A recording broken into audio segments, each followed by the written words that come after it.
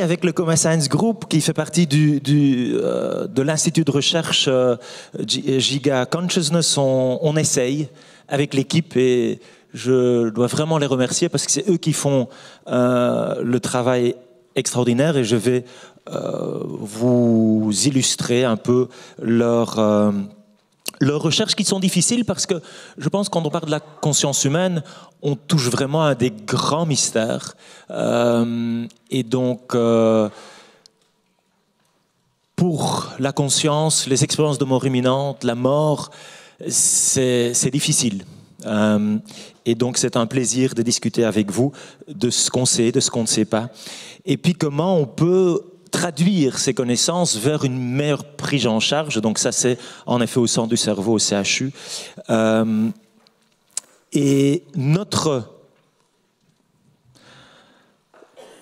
microcosme, notre euh, euh,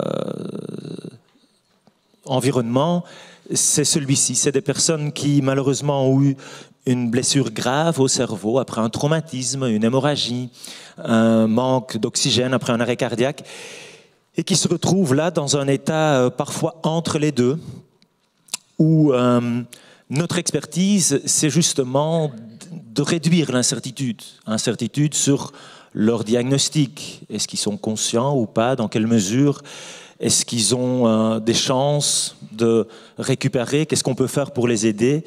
Et, c'est ce que vous voyez là. Des, des électrodes, des, machines qui nous permettent de, mesurer ce qui se passe euh, dans le cerveau, dans, le mental. Alors je pense que aujourd'hui, pour ma présentation, mais pour tout ce qu'on a entendu aujourd'hui et hier, c'est important de, de, séparer les différents euh, aspects. Euh, il y a un, ben, notre travail comme, comme soignant, hein, donc j'ai la casquette du médecin, et puis il y a la casquette du scientifique, c'est un autre métier, c'est une autre approche.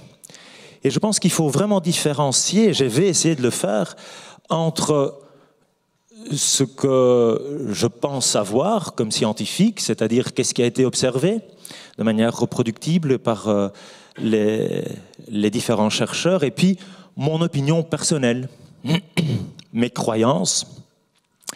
Et donc, quand on parle de la mort, de l'expérience de mort imminente, de l'esprit, de l'âme, ben on est dans un...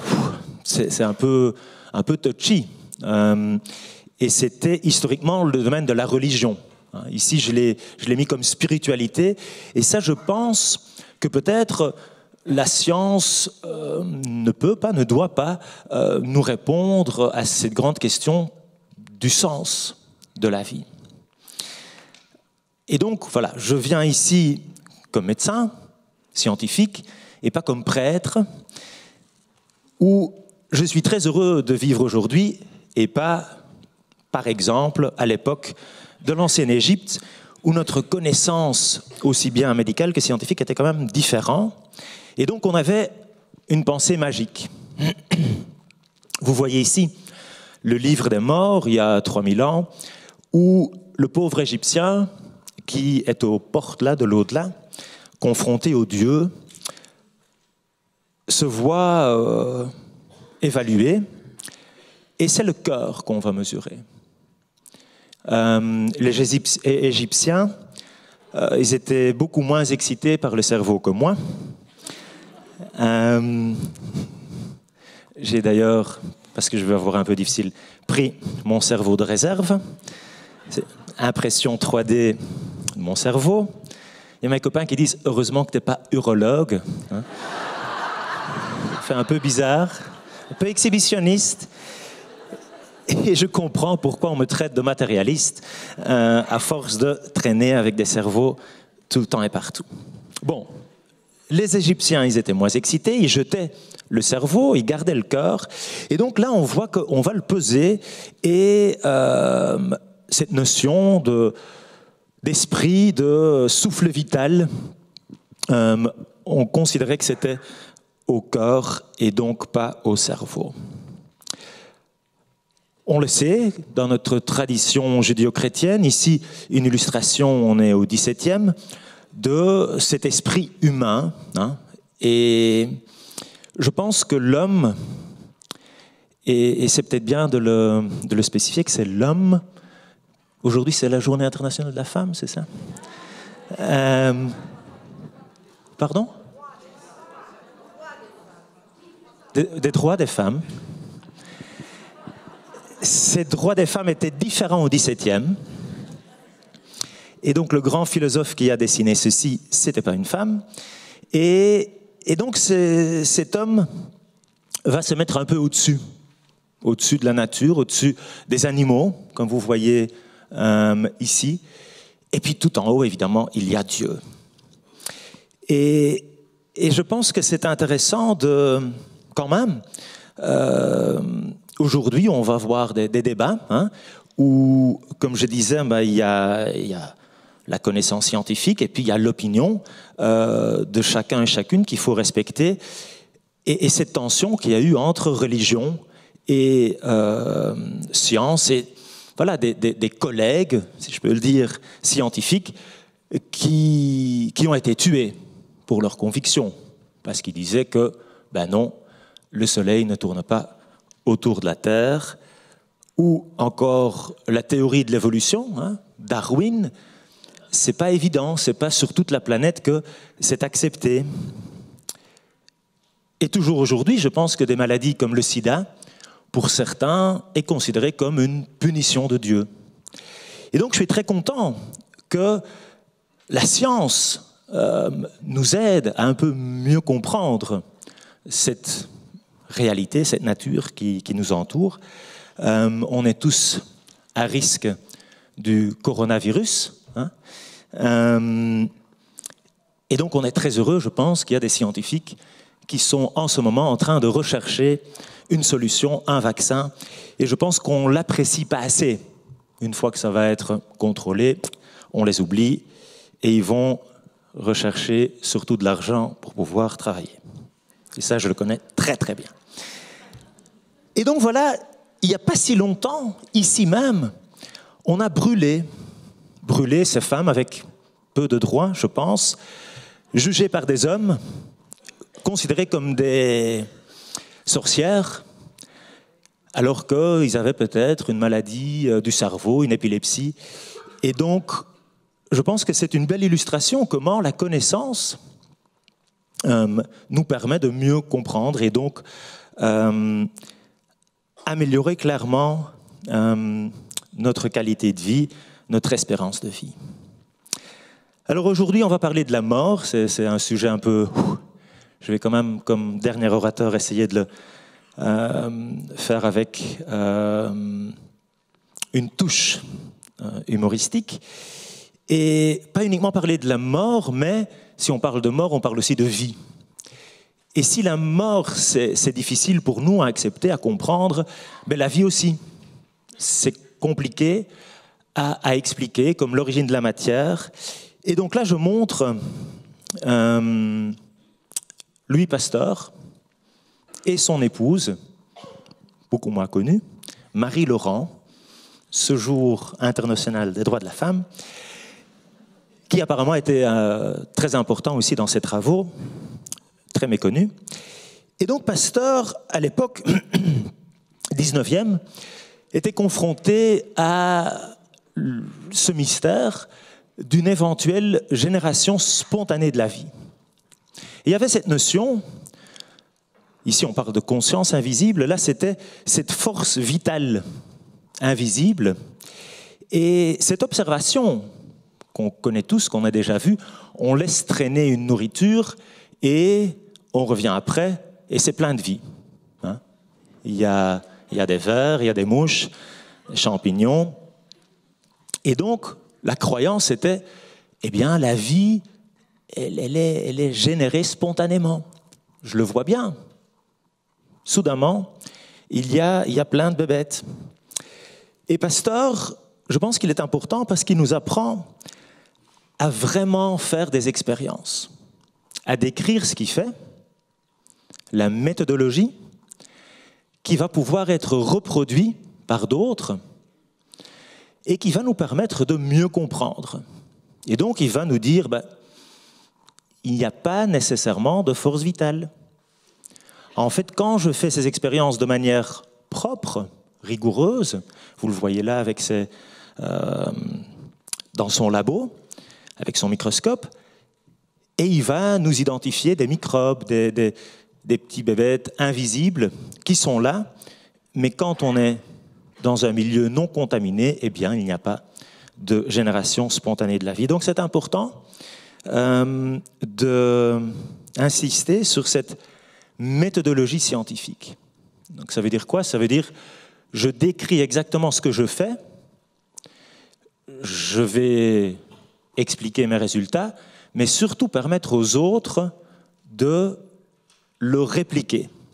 Et donc en science, ben, ce n'est pas écrire un livre qui va vraiment être important, c'est d'écrire un article dans un journal scientifique.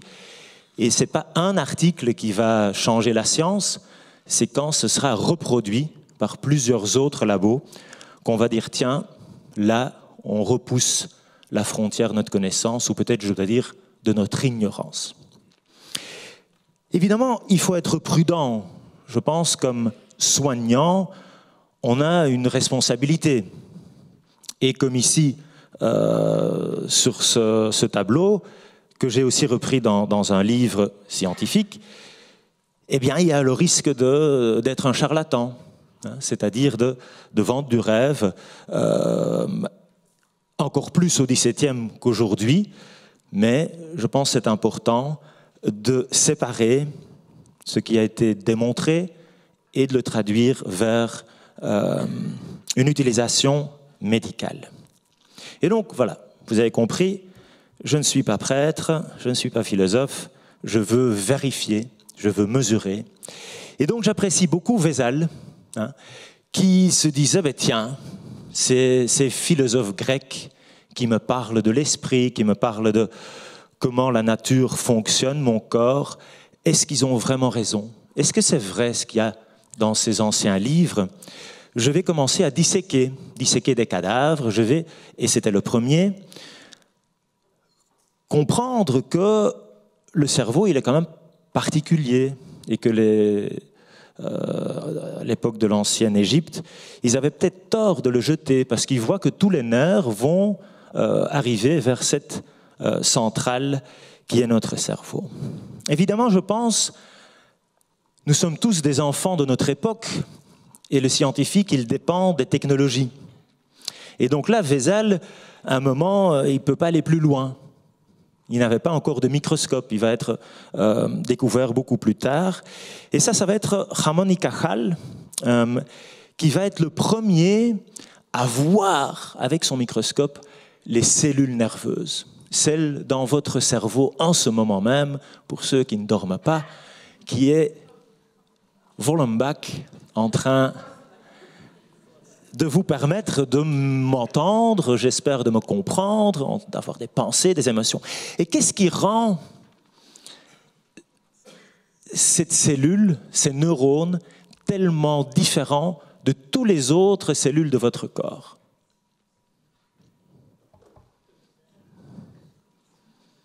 Allez. C'est une dame qui peut répondre, par contre. Rien Les connexions, ouais. Et donc, ça c'est la première fois que l'homme va dessiner cette cellule nerveuse, et elle est particulière parce qu'il y a toutes ces branches ces cellules parlent, communiquent avec des dizaines de milliers d'autres cellules. Et les petits points que vous voyez peut-être, c'est les synapses, les petits ponts. Et donc c'est ça qui fait de cet organe une énorme complexité parce qu'il y a des milliards de neurones, mais surtout des milliers de milliards de synapses dans une soupe de neurotransmetteurs qui en permanence sont en train de changer leur activité. Et aussi, si vous allez retenir, j'espère, quelque chose de ce qui a été dit ces deux jours de ce colloque, ça va changer vos synapses, vos connexions. Évidemment, maintenant, on a la chance d'avoir ces machines qui nous permettent de regarder ce qui se passe à l'intérieur, sans devoir attendre que le patient est vraiment mort, comme à l'époque de Vézal. À l'époque de Cajal, on a les IRM, les PET scans, les électroencéphalogrammes, et on voit euh, ce qui se passe à l'intérieur. Donc voilà un peu euh, l'approche scientifique.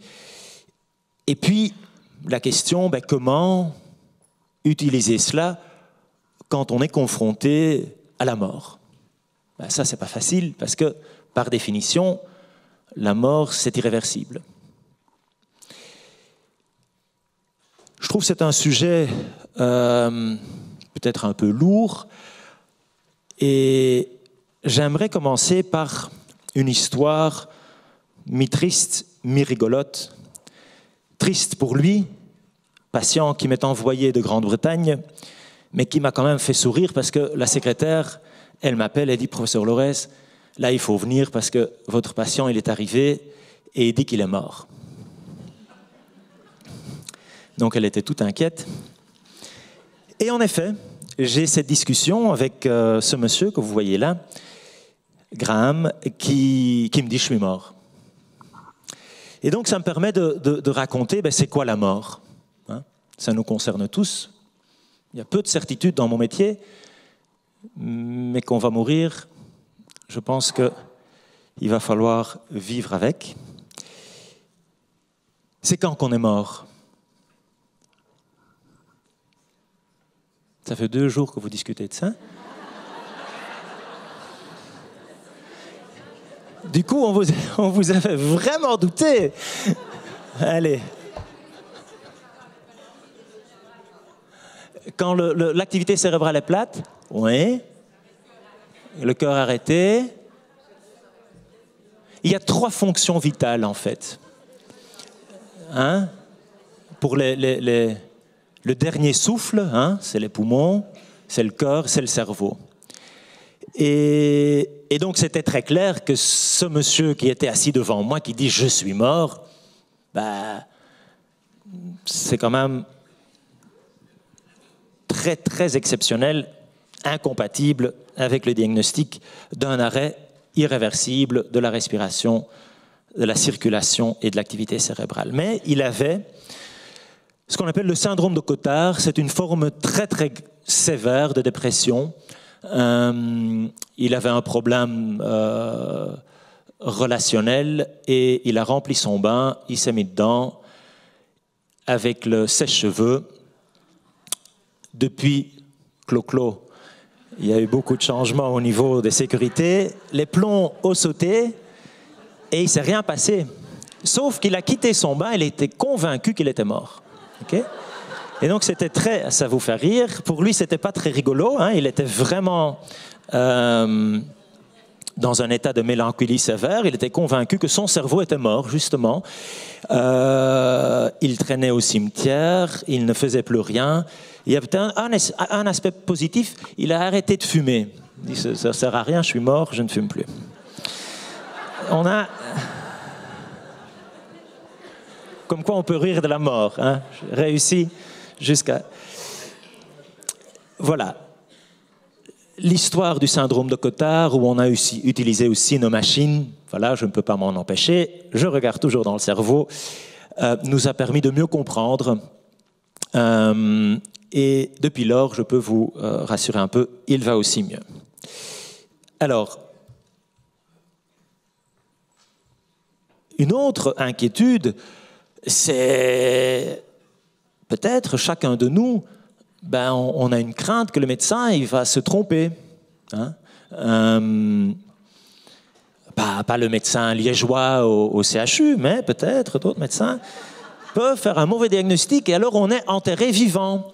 Et donc, voilà, je ne suis pas mort, eh bien, Karnish Karniki, euh, qui travaillait pour le, tsar euh, en Russie, 19e, a fait une petite fortune avec la location de cette machine que vous voyez là, qui est dans le livre, où d'en bas, on pouvait dire, oh là, je suis bien là, et on peut faire bouger le petit drapeau, sonner la cloche ou casser la petite ampoule. En fonction de son budget, on pouvait le louer pour certaines durées. Il n'y a pas de statistiques sur combien d'âmes ont été sauvées avec euh, cet appareil. Mais donc, à l'époque, c'était relativement simple. On est mort quand on a une perte irréversible d'une de ces trois fonctions, cœur, poumon, cerveau. Et puis, les choses se compliquent, et c'est une image que euh, Charlotte Martial vous a déjà montrée hier, je pense. C'est Björn Ibsen, un médecin à Copenhague, qui va inventer une nouvelle machine. C'est le respirateur artificiel qui, pour la première fois, va dissocier ces trois fonctions. C'est le début d'une nouvelle spécialité, qui sont les soins intensifs, ça va obliger la médecine et la société à redéfinir la mort, et ce sera aussi le début de ce qu'on appelle maintenant la discussion sur l'acharnement thérapeutique. Donc, quelque chose d'énorme, ce respirateur artificiel, qui, chez des personnes qui ont un accident, avec des, énormes saignements dans le cerveau, qui normalement, ben, ils seraient tout simplement décédés. Maintenant, il y a cette machine qui continue à assurer un mouvement de respiration, donc la circulation reste. Et donc, ces nouveaux médecins intensivistes qui se posent la question, est-ce que ça a un sens de continuer cette machine si je sais que le patient, après son accident, il n'y a plus de cerveau et il est là, dans mon service, avec ces machines, est-ce que je peux les arrêter? Et en particulier en Italie, ils sont allés voir le pape, Pie XII, Pie XII qui peut-être euh, et on le verra parce qu'on est en train de regarder son dossier, n'était pas exemplaire pour euh, son rôle dans la Deuxième Guerre, mais là, confronté, on est dans les années 50, à ces médecins qui posent la question, est-ce que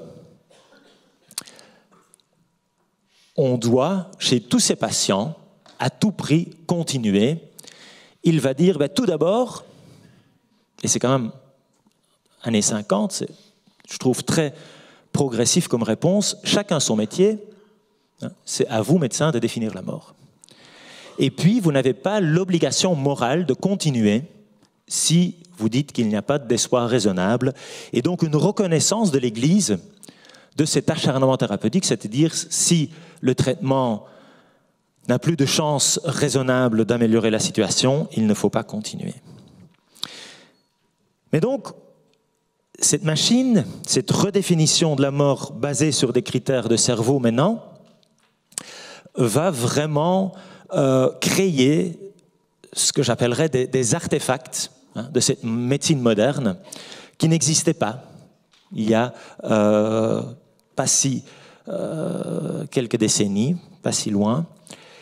Et on a donc des personnes qui sont dans un commun, qui vont peut-être survivre cela, se réveiller, ouvrir, ouvrir les yeux, mais pas montrer des signes de conscience.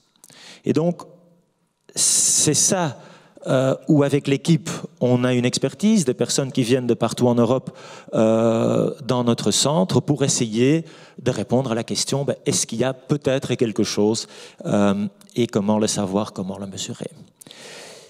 Mais alors comment faire si je vous ai dit, la conscience, ça reste un des grands mystères pour la science. Comment, comme soignant, confronté à ces personnes,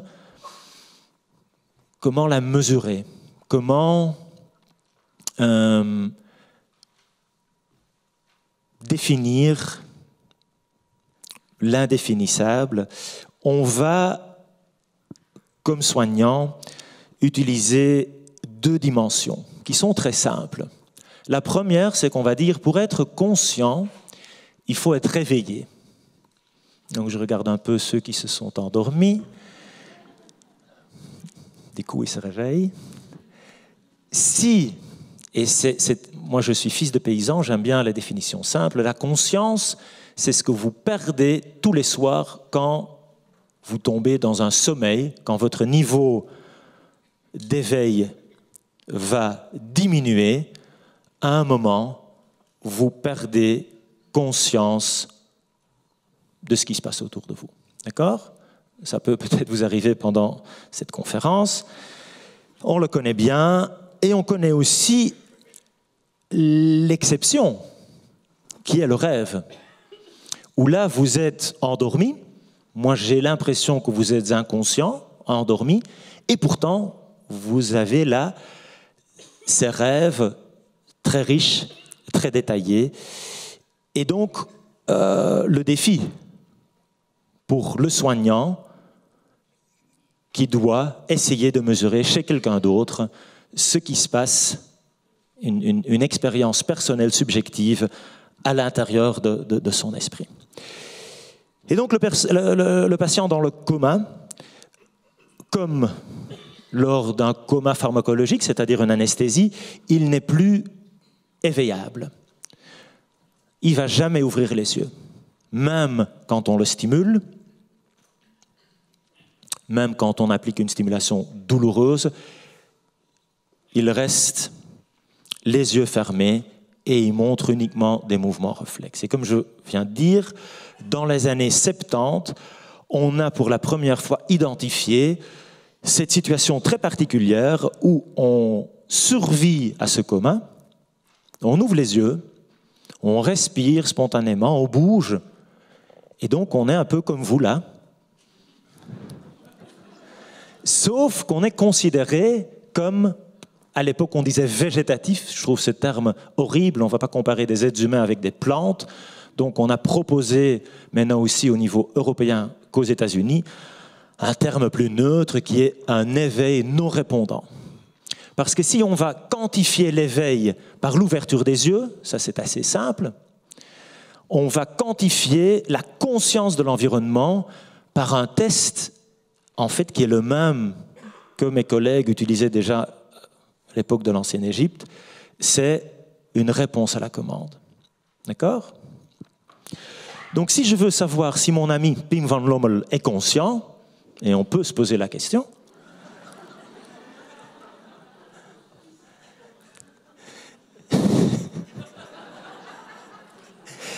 je vais demander Pim, bouge la main gauche. Pim, bouge, s'il te plaît, la main gauche. Voilà, on a déjà un problème. Est-ce que j'ai... This is unfair because... So I just asked, please move your left arm. OK, si. Mais ça illustre bien comment mon test, ben, je peux me tromper. Donc évidemment, il ne bougeait pas est-ce que j'ai prouvé que Pim était I will take you as my favorite guinea pig. Okay? Si qu'il est vraiment inconscient, bien sûr que non. D'accord? Il, est peut-être sourd, il n'a peut-être pas compris la question comme c'était le cas. Mais aussi, il se peut qu'après. Il faut pas rire quand il n'y a pas de blagues non plus. Hein?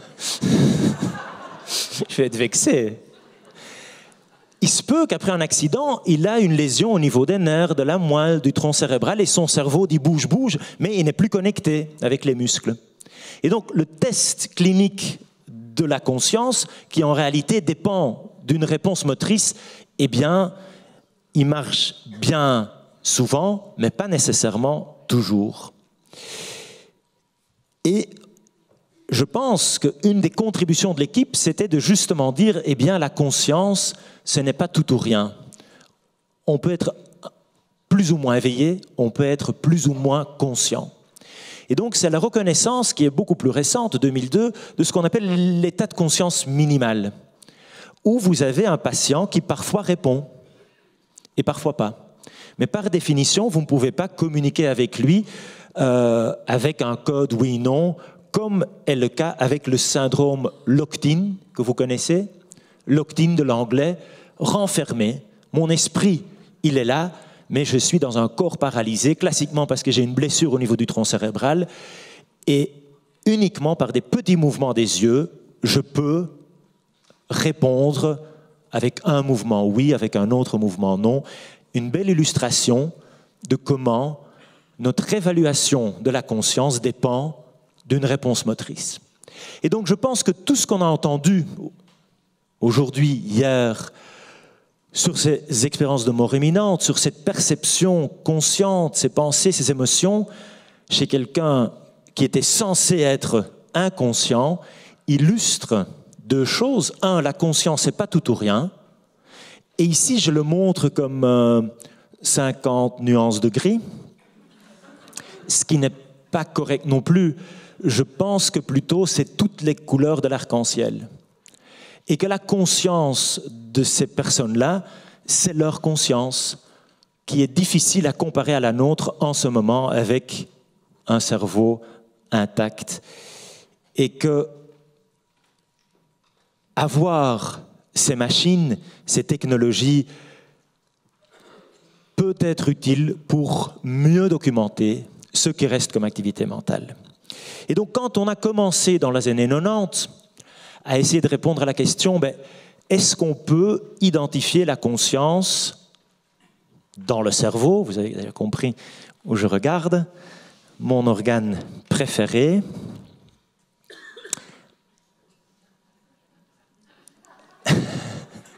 eh oui. On a utilisé le PET scan parce que votre cerveau, il utilise en ce moment, pour ceux qui ne dorment pas, plus d'énergie que n'importe quel autre organe dans votre corps. D'accord? Même chez les hommes.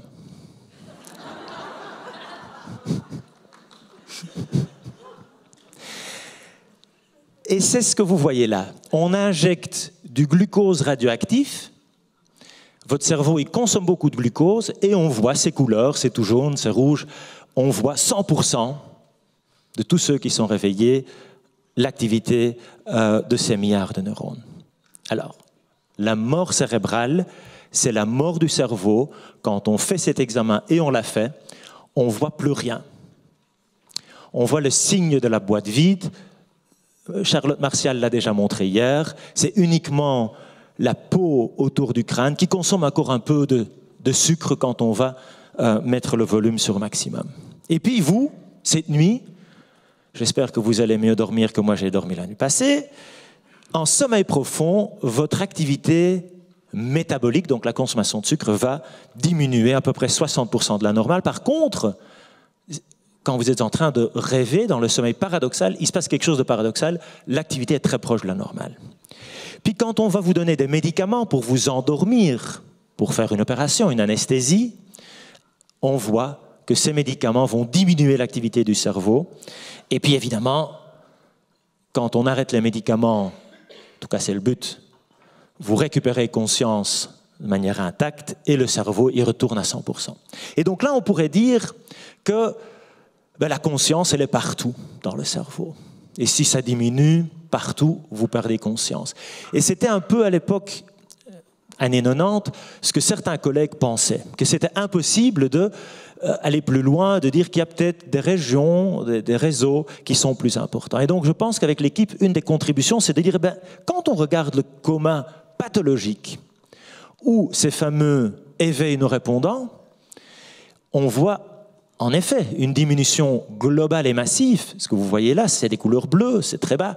Mais quand ils récupèrent conscience, ils ne récupèrent pas 100%. Autrement dit, il ne faut pas tout le cerveau pour être conscient. Et donc ça, je pense aussi que c'est une erreur historique. Donc la conscience, c'est pas tout ou rien, et il faut peut-être moins d'activité cérébrale pour qu'il y ait pensée, pour qu'il y ait perception, pour qu'il y ait émotion. Et donc avec l'équipe, on a pu identifier les deux réseaux de la conscience.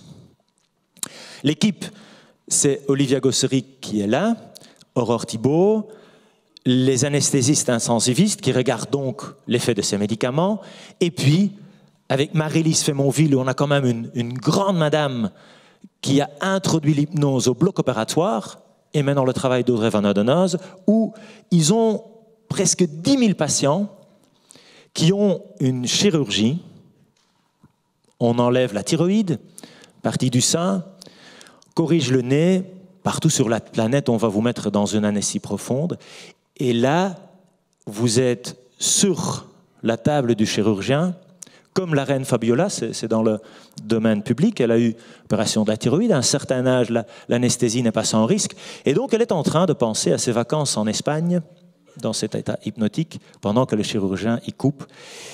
Et on a pu voir que ces deux réseaux de la conscience sont modifiés dans tous ces états euh, modifiés de conscience, pathologique, pharmacologique, physiologique, hypnose, et donc, comme disait Martine maintenant, plus récemment, euh, en méditation et en transe, des études en cours. Alors, pour que vous avez une conscience de ce que je suis en train de dire, de, ce que vous voyez en ce moment. Il faut ce réseau qui est en rouge, devant, derrière, ce n'est pas une petite région, c'est un réseau. Probablement que chaque hémisphère a sa propre conscience, mais c'est le dominant gauche qui peut l'exprimer. Et si je vais abîmer ou déconnecter ces euh, régions du réseau de la conscience du monde extérieur de deux côtés, eh bien, vous n'avez plus de perception. Tout ce qui passe par vos sens, vous ne pouvez plus donner un sens à cela. Et c'est ce qu'on voit pendant le sommeil profond, pendant l'anesthésie générale et dans le coma. Et puis vous avez un deuxième réseau, c'est le réseau de la conscience intérieure, cette petite voix qui vous parle en ce moment. D'accord? Très très puissant. Et donc, ça va être très très... Moi, quand je vais à une conférence comme vous, je pense à plein de choses. Qu'est-ce que je vais encore faire demain? Des courses, hein, je dois répondre à un mail, je dois, euh, commence à être long. Tiens, mon voisin, qu'est-ce qu'il fait? Euh, Vous avez cette petite voix qui parfois tourne et vous n'avez plus de contrôle, et alors ça devient des, ruminations, ça peut vous empêcher de dormir, ça peut vous donner des angoisses, ça peut vous déprimer. Et donc, c'est très puissant, ça nous permet d'anticiper, de planifier, mais on le sait aussi, ça nous donne parfois des difficultés au niveau mental. Et donc, d'ailleurs, en méditation, vous prenez conscience et un certain contrôle de justement ce réseau-là euh, et de cette petite voix intérieure, en bleu à l'intérieur du cerveau. Et les études montrent donc que les deux vont être diminués quand vous êtes inconscient, que dans l'hypnose, ben, ça va être le réseau du monde extérieur qui va être déconnecté, d'accord Ce qui permet aux chirurgiens de travailler. Euh, et en méditation, ça dépend de l'exercice que vous faites. Et avec cette connaissance-là, on va mieux soigner les personnes dites dans le coma, non répondants, état de conscience minimal, où on ne peut pas communiquer avec eux, ils ne peuvent pas nous dire ce qu'ils pensent, mais les machines, et vous voyez ici des, études euh, compliquées, où la moitié de l'équipe, c'est des ingénieurs, des mathématiciens, qui vont nous permettre d'utiliser ces outils, y compris l'intelligence artificielle, pour aller décoder ce que les machines mesurent pour aider le clinicien et qui vont réduire l'incertitude.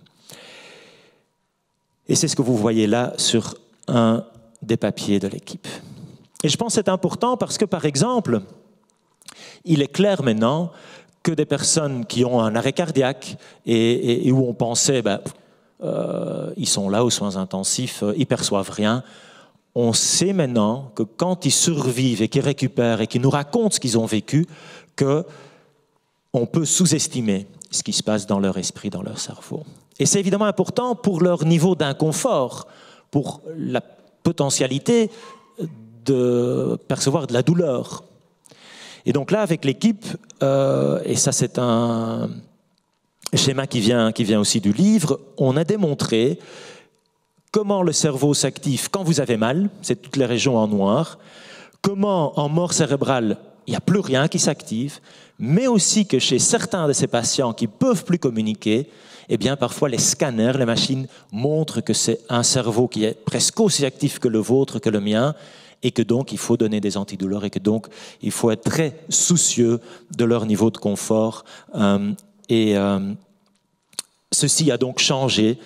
Euh, les livres de médecine et leur prise en charge. Ces mêmes machines nous permettent même parfois, mais c'est difficile, de communiquer avec eux. Donc ça, c'est ce qu'on appelle des interfaces cerveau-ordinateur.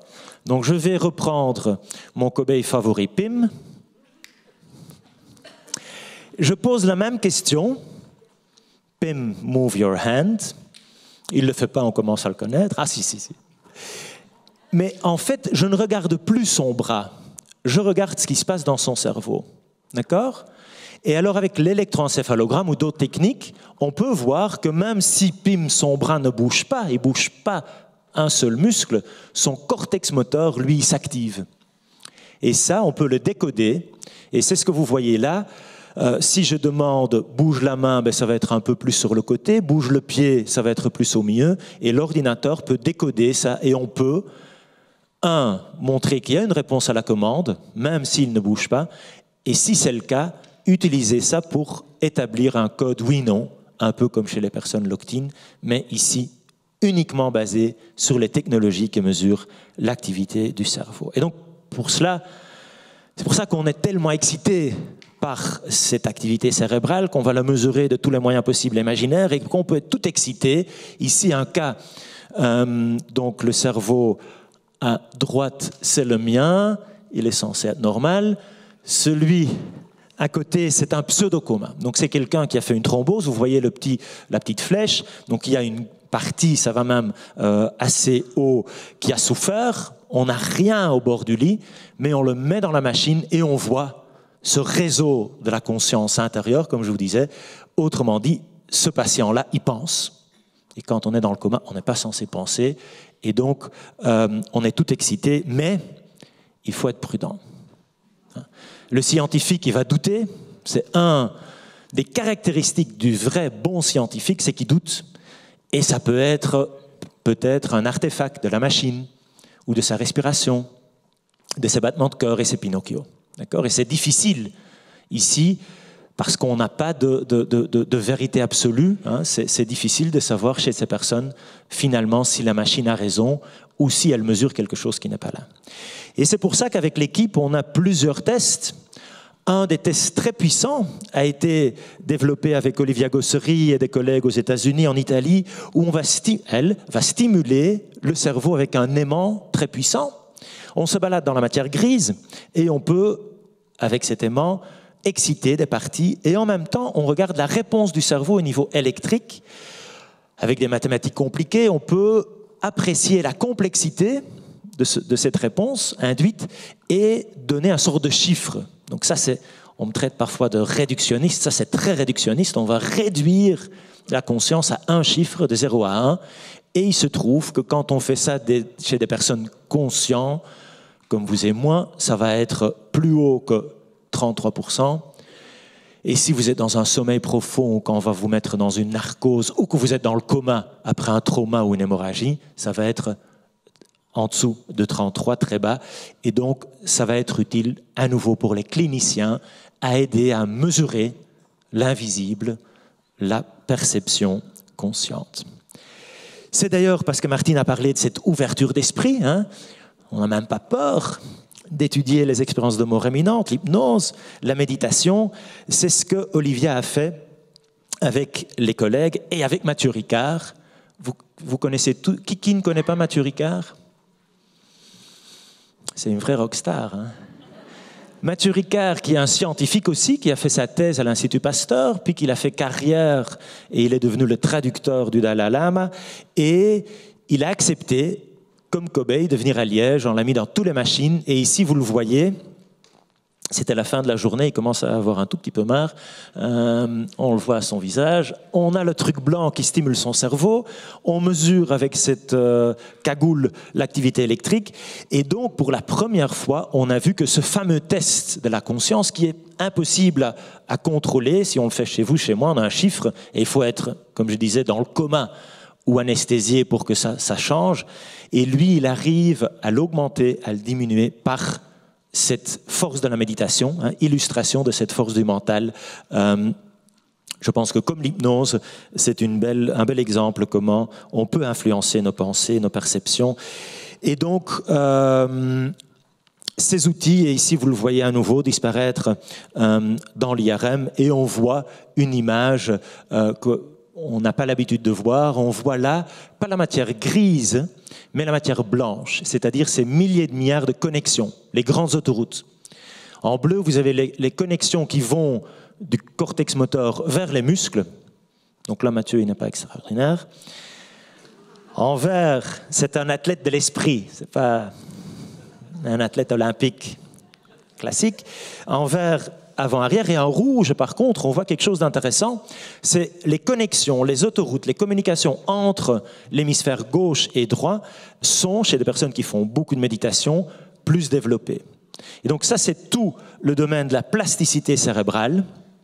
Euh, et la méditation est un outil euh, pour documenter. Il ne faut pas être un moine bouddhiste, vous et moi. Euh, quand on va méditer Wisman, on va voir déjà des différences, comme on peut les mesurer euh, avec nos machines. y compris dans ce fameux réseau de la conscience du monde intérieur. Euh, et si vous voulez voir euh, plus de détails, c'est dans le livre que la méditation, c'est vraiment bon pour votre brillant cerveau. Mais les mêmes machines, on va les utiliser chez des personnes dites dans le coma. Ici, vous avez un jeune homme qui a un trauma crânien. Il s'est craché avec sa voiture à 140 contre un poteau. C'est un moment de décélération et donc vous avez ces fameux connexions. C'est un arbre qui perd ses branches et vous le voyez. Donc ça, c'est assez clair. Euh, à nouveau, à droite, c'est un cerveau censé être normal, c'est le mien. Et quelqu'un qui a un trauma grave, qui va avoir des, des, blessures à cette matière blanche, à ces milliers de milliards de connexions. Et donc, ça perd alors son efficacité et vous perdez conscience parfois de manière irréversible. Et quand vous récupérez, eh bien, on voit que ces connexions vont parfois se refaire et refonctionner. Ça, c'est ce qu'on a démontré dans un papier qui date maintenant d'il y a 20 ans. C'est là où on compte qu'on commence à vieillir. Et c'est ce qui a été utilisé par des collègues aux États-Unis pour justement stimuler ces mêmes parties du cerveau qui étaient déconnectées, ça s'appelle le thalamus, peu importe, et un papier dans un grand journal Nature qui montre qu'on peut améliorer la conscience après un trauma crânien, améliorer la conscience avec une stimulation électrique du cerveau. Et alors avec l'équipe, et ça c'est le travail de Thibault, euh, on va mettre des électrodes et essayer de stimuler cette plasticité et de donner euh, un meilleur pronostic à ces patients et à nouveau à travers les différentes collaborations, comme euh, Dr Olivier Gossery, qui vient d'avoir le prix Générette pour l'apomorphine, un médicament pour stimuler à nouveau cette plasticité. Vous voyez ici quelques images obtenues par l'équipe avant et après ces interventions. Et donc vous commencez à être un expert dans euh, les différents états modifiés de conscience. Je regarde un peu ma montre. Martine, on est bon? Et on n'a pas encore beaucoup parlé finalement de la mort. Alors, parlons de ce qu'on peut voir après un accident grave. On a parlé du locked-in syndrome, on a parlé de ce soi-disant végétatif non répondant, l'état de conscience minimal et la mort cérébrale dans tout ça. Je pense que c'est important d'être clair sur ce que c'est et ce que ce n'est pas la mort cérébrale. On a, avec l'équipe, beaucoup euh, étudié, publié, et un mot que je n'aime pas, c'est le, mot mort clinique. Mort clinique, il y a le mot mort, donc on peut dire, bah voilà, donc on est mort. Ben non. La mort clinique, c'est quand votre cœur s'arrête et on sait très bien qu'il y a une partie de ces patients qu'on peut réanimer. D'accord? Et ça, ça peut mener à confusion, parfois même dans des documentaires. Ici, c'est la BBC qui mettait un titre qui n'est pas si euh, anodin, hein, pas si neutre. Euh, transplantation d'organes, est-ce que les donneurs sont vraiment morts? Pas d'interrogation. Qu'est-ce qui s'est passé? Eh bien, il y a eu beaucoup de gens qui sont morts après, en Grande-Bretagne, sur la liste de transplantation. Parce que si vous voyez ça, vous dites, ben, moi, je ne peux plus d'honneur. D'accord? Et donc, je pense que c'est important de clairement communiquer sur, justement, les faits, pas des opinions. Quand vous avez les critères de mort cérébrale, jamais, jamais depuis les années 50, il y a un seul patient avec les critères qui a récupéré conscience. OK? Ça, vous l'avez déjà vu Le signe de la boîte vide, c'est ce qu'on voit en cas de mort cérébrale. Ça, c'est les personnes qui survivent parfois à des situations très très graves et qui parfois nous racontent qu'ils ont une expérience de mort imminente. Et donc moi, ce qui me fascine, c'est comment expliquer ces histoires. Et vous avez eu des témoignages, et il y a plusieurs personnes ici qui ont vécu cela. Et, je ne sais pas ce que c'est parce que je ne l'ai pas eu moi-même, et c'est évidemment fascinant de étudier ces phénomènes parce que vous avez un cerveau qui souffre. Et si vous voyez une image obtenue après l'arrêt cardiaque, personne n'a survécu, l'activité n'est pas zéro, vous voyez, elle est diminuée. Comment un cerveau qui souffre est capable d'avoir ces perceptions tellement intenses, tellement claires, et donc le patient qui dit j'étais presque mort, j'ai vu le tunnel, euh, est-ce que c'est la preuve d'une vie après la mort? Ben Là, je pense qu'on va en rediscuter encore à la table ronde. Moi, vous avez compris mon approche, je veux mesurer, je veux vérifier.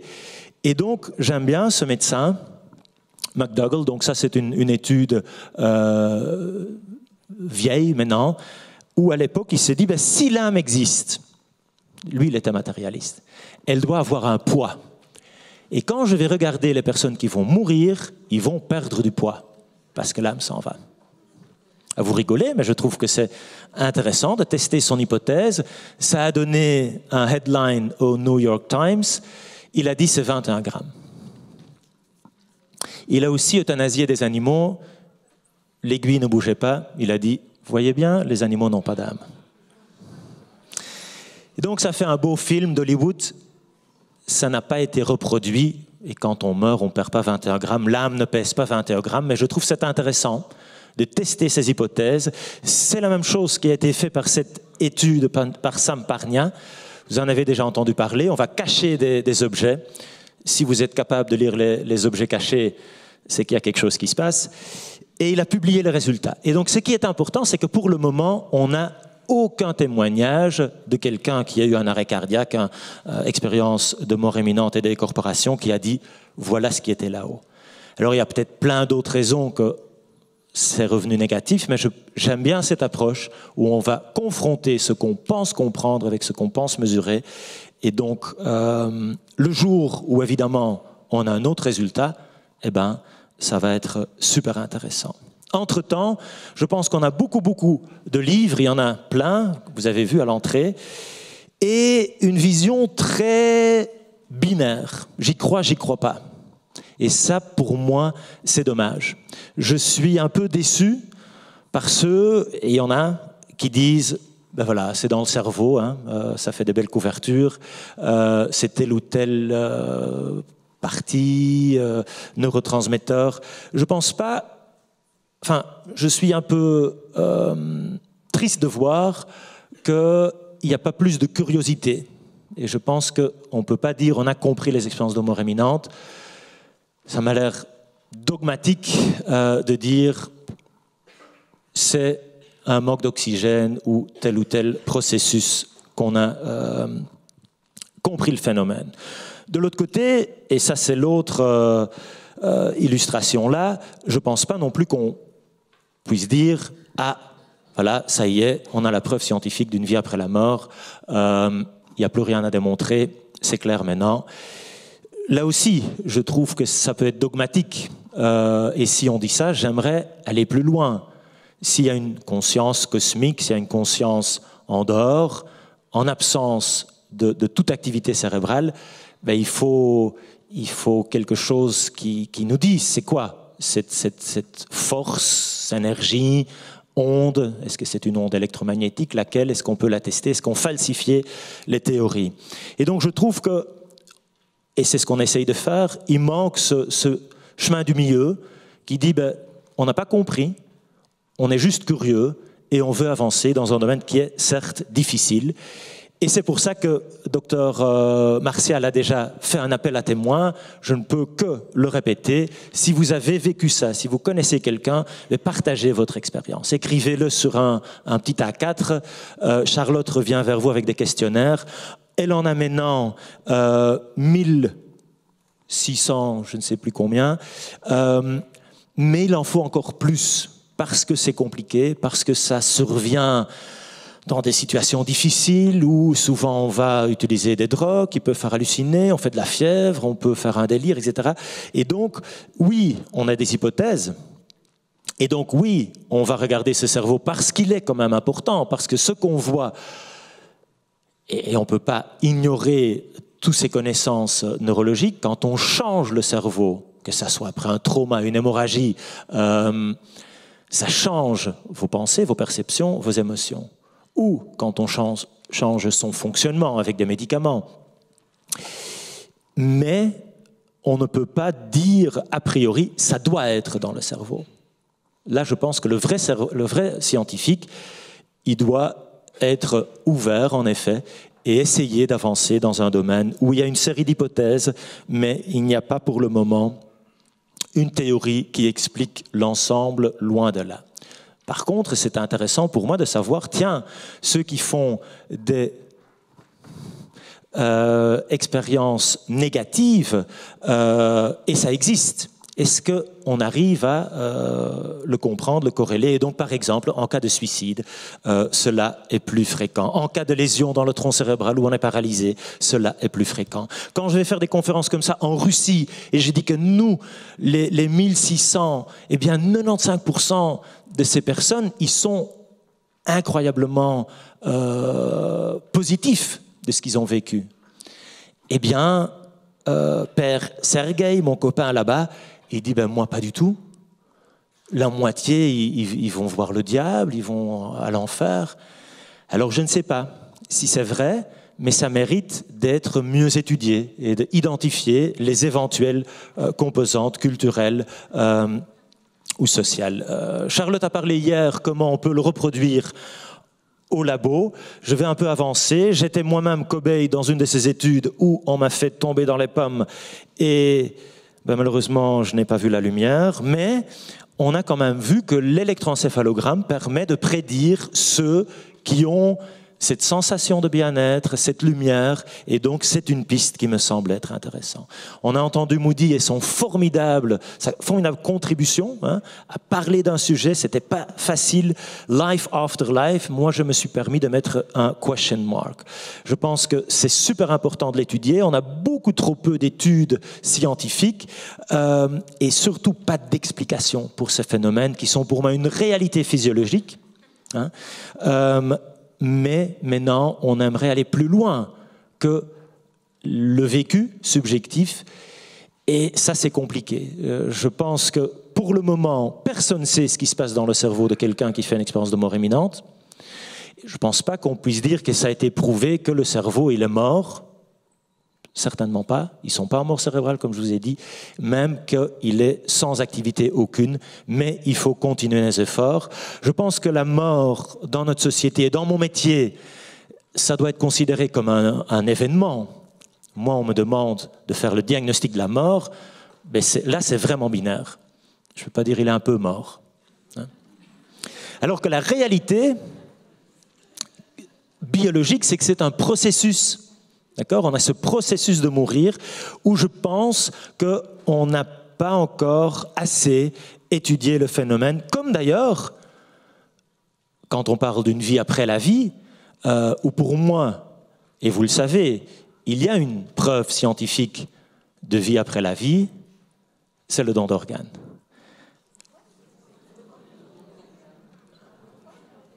Il y a une preuve scientifique d'une vie après la mort, c'est le don d'organes. Et donc je vous invite tous à vous inscrire, si ce n'est pas déjà fait, parce que si vous voulez bien recevoir quand vos reins ne fonctionnent plus, ben, il faut aussi qu'il y ait des donneurs. C'est la même chose pour le début de la vie. Qu'est-ce qui se passait si on a difficile à accepter que notre vie, elle va à un moment arrêter Mais qu'est-ce qui se passait avant hein, euh, qu'on était là? Et quand la vie commence, et donc je pense que historiquement, on a sous-estimé la capacité de conscience, non seulement chez des personnes dites dans le commun, aussi en fin de vie, et les études le montrent, ou chez les nouveau-nés. Il n'y a pas si longtemps, on considérait qu'ils ne percevaient rien du tout. Ça, c'est le petit Louis né il y a deux ans, et grande discussion avec sa maman pour dire qu'il ne perçoit rien. Et bien évidemment, euh, on sait maintenant qu'il y a des émotions, qu'on doit donner des antidouleurs. Moi, quand j'étais à la fac, on considérait qu'il percevait rien du tout. Vous avez compris que moi, je veux mesurer. Donc ça, c'est le petit Louis avec des électrodes sur le front qui regarde qu'est-ce qui se passe quand il interagit. J'ai encore quelques slides pour parler un peu de la vie. Est-ce que vous me permettez, Martine? Parle beaucoup de la mort. Moi, j'aimerais parler aussi de la vie et, de cette question, ben, quand est-ce qu'elle commence? Et à nouveau, la religion a la réponse. Ici, un dessin Moyen Âge, c'est le jour de la conception. On voit le couple et il y a le petit ange qui vient. Il y avait une discussion. Au Moyen Âge, il y en avait aussi ceux qui suivaient Aristote, le grand philosophe, qui dans son fauteuil disait ⁇ Ah non, non, non, non, c'est après 45 jours que l'âme entre dans le corps. C'est la journée internationale des droits de la femme. Pour des raisons que j'ignore, Aristote disait, et chez la femme, ça prend deux semaines en plus. Alors moi, je veux, vous avez déjà compris, voir de mes propres yeux, donc je préfère quelqu'un comme Da Vinci qui va voir, qui va nous dessiner. évidemment, il y a la technologie. Ça, c'est la petite Margot, et c'est elle qui a la raison que j'ai si mal dormi et on peut la voir. Et ça, c'est mon épouse qui est sur une machine. Elle est enceinte, grosse comme une baleine, et on... elle est enceinte. Ça, c'est la privation de sommeil, vous voyez. Et elle est où? Elle est à Tübingen, dans un projet européen, justement pour mieux comprendre la conscience, avec des experts là en Allemagne qui ont la meilleure machine de la planète, qui va mesurer ces fameuses ondes électromagnétiques créées par le petit Louis et son cerveau quand il entend la voix de sa maman, quand il entend des bruits, et vous voyez le petit cerveau de Louis qui s'active. Je lui avais bien expliqué. Et je pense que déjà in utero, hein, avant qu'on ait né, il y a cette perception qui petit à petit se développe, mais c'est clair, il faut, je pense, beaucoup plus d'études et certainement pas avoir l'arrogance de dire on a compris la conscience. Tant qu'on n'a pas compris ça, euh, on n'aura pas compris les expériences de mort imminente et on est toujours avec une sorte de gap entre quelque chose, c'est vrai, de matériel et ses pensées, ses émotions, ses perceptions. Et donc on veut aller plus loin parce que les scientifiques, ils n'aiment pas l'explication miracle. Merci à vous et prenez soin de la vie surtout.